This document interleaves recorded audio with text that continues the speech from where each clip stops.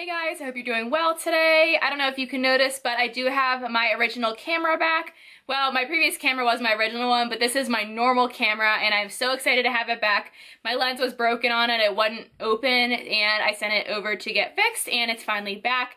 I think it's been about two months without it, so I'm really happy to have my camera back. I'm excited to post this video today because this is my Pan That palette update. I forget which number this is, but I've been working on my Morphe and Jaclyn Hill eyeshadow palette, and I'm getting pretty sick of it. It's not that the palette's bad. And honestly, I'm getting pretty bored of it. I ran out of most light shades, so I do have to pull in lighter shades because I like to use a light shade on my lid and then darken in the crease. So I have to pull in light shades from other palettes, so it's mostly dark in here now. There's a couple lighter shades, but I'm just getting a little bit burnt out on it, but there's only a few months left of the year, and I want to pan as much as I can from this palette by the end of the year, but I'm not necessarily going to finish it. But anyway, I'm going to stop rambling. Let's get into the palette itself. I'm going to insert a picture of what this looked like in my previous update. And here's what my palette currently looks like. So there's some minor changes, not a whole lot. There's definitely been months where I've had more pan. I did meet all of my goals this month, which is exciting. My first goal was to finish the shade in Firework, which I did. This was a beautiful coppery red shade, and I liked it on my outer corner. It was pretty all over the lid, and I did have a pressed glitter that I would like to pair with it.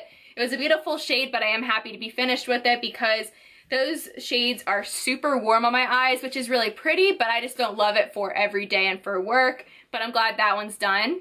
Another goal I had was to expand the pan on Meeks, and I definitely did that. And I actually hit side pan right here, which is really exciting.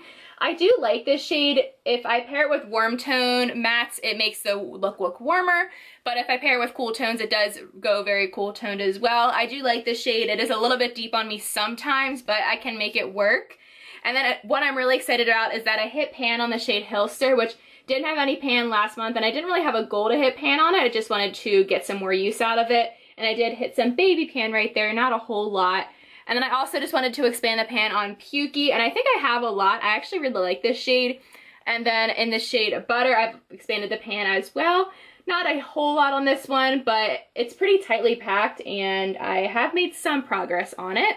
I also have some dips in other colors. I'm not entirely sure what the name of this one is, but this is like a mac and cheese color and I have a pretty decent dip. I like to mix this shade with, butter and I think it creates a really nice warm toned look.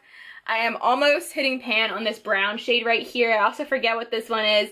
I wish her palette was labeled, at least even on the back, that would be helpful, but mine didn't come with that sheet which had the names on it. I usually just look at my computer because I have a picture of it. But anyway, this one is like so close to hitting pan. I think the next time I use it, especially if it's with a liner brush, I think I will definitely be able to hit pan on it. So let's set a goal to hit pan on this shade in the next month. I would also like to use up half of what's left in Meeks. And I think I want to try to make some progress on Hustle as well. And I did swatch out the shades. This dark brown right here, which is the one I forgot the name of, this one is actually called Central Park. And I swatched out Meeks, which is the bronzy shade, and then Hustle, which is this purpley taupe color.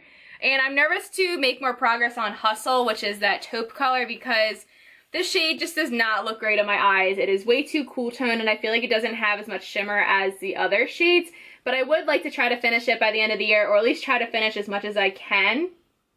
But anyway, that is my short and sweet update for my Pan That palette 2019, and I will have a playlist linked down below. I did pan another palette this year, and I do have some panning tips if you want to check them out as well. I think I'm doing okay with the Jaclyn Hill palette. I'm definitely slowing down. I was a lot better in the beginning, but I am just feeling pan that palette burnout right now, which definitely happens if you are panning a palette. And I'm excited for next year because I do have a palette in mind that I think I can finish pretty quickly. But for now, I'm just going to keep trucking through my Jaclyn Hill palette.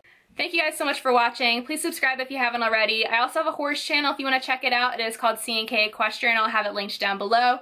Hope you guys have an amazing day, and I will see you guys in the next one. Talk to you later. Bye.